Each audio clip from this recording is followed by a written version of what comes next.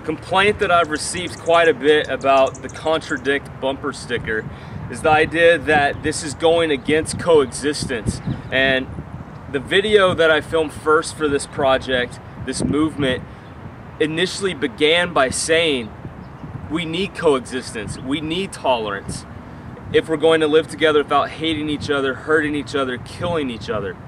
However, we have to recognize that all religious views cannot be true because they contradict each other. That's all this is about, recognizing the contradiction. Because I've said on my blog and numerous other places online that the coexist movement, if that's what you want to call it, uh, or campaign, is actually promoting religious pluralism. And the complaint I've received a lot is that it does not promote that whatsoever. Uh, however, um, I'm pretty sure that it does.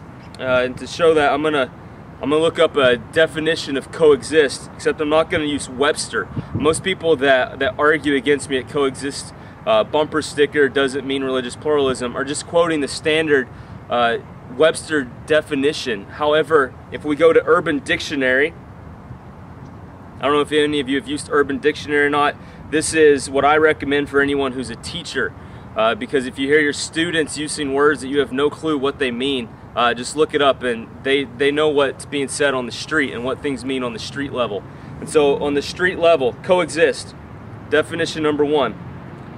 A campaign mainly selling shirts and bumper stickers promoting the end of discrimination against all religions as well as all discrimination for Jews, Buddhists, Christians, atheists, blacks, whites, homosexuals, everyone to get along, to coexist. Right. Uh, I've always said that we're for coexistence. What we're against is religious pluralism because that uh, falls into some logical fallacies. The second definition on Urban Dictionary coexist a belief system which claims tolerance but is itself a doctrine of absolute belief that all religions are ultimately equal, despite that this violates the law of non contradiction.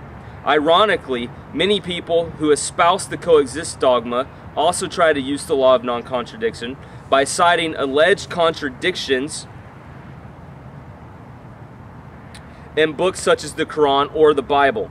Typically, believers in coexist will attempt to impose this belief on any system which declare contrary absolute doctrine, such as conservative Christians and Muslims.